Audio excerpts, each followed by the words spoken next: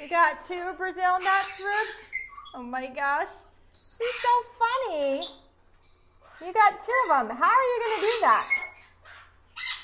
How are you going to hold one and crack one? Huh? Do you have special talent, Ruby? This is so funny, guys. I offered her, I had a handful, and she took both.